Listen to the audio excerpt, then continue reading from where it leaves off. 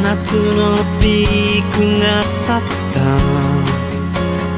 天気予報士がテレビで言ってた。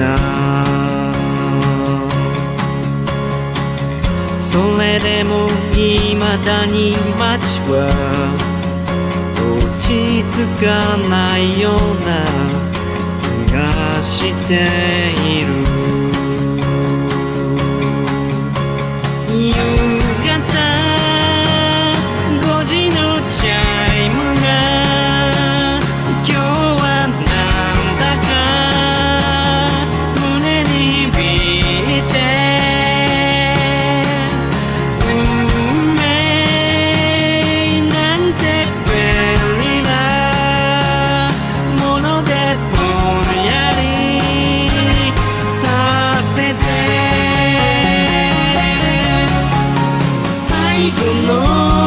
花火に今年もなったな何年経っても思い出してしまうな。